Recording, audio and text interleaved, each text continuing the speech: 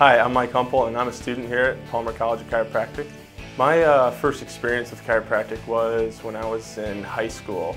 Being involved in athletics, you're going to get some bumps and bruises, some minor injuries. My mom said, hey, we should try out the chiropractor. I had good luck. I always felt better leaving the chiropractor's office. I went to the University of Iowa on a football scholarship, went to Pittsburgh Steelers, drafted in 2008, played with the Steelers for a year. Unfortunately, injuries kind of took a toll on me. So that was my exit out of football. I kind of came back and said, hey, I always wanted to be involved in healthcare, thought I wanted to be a chiropractor. Now's my chance. I chose Palmer because Palmer, being the, the foundation and the spearhead of chiropractic throughout the world, I figured, hey, what better place than going to Palmer.